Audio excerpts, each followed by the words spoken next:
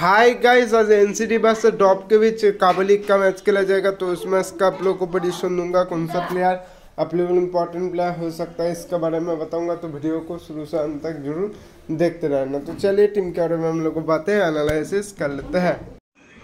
Guys अब सभी के लिए हमारा रियल टेलीग्राम चैनल हमारा रियल टेलीग्राम चैनल का सब्सक्राइब कितना? Nineteen point six crore subscriber आप लोग को दिख जाएगा। नाइनटीन पॉइंट सिक्स का देख लो, उन्हीं बारह जस्ट आप लोग देख लो। आप लोग अगर ऐसे उन्हीं बारह करना चाहते हो, आप लोग अगर ऐसे उन्हीं बारह करना चाहते हो तो वीडियो को डिस्क्रिप्शन पर आप लोग को जो लिंक मिलेगा, उसको क्लिक करके ज्वाइन कर लेना। इधर पर आप लोगों को फाइनल काबुलिक का फाइनल टीम दिया जाएगा। तो चलिए टीम के बारे में हम लोग को बातें एनालिसिस कर लेते हैं।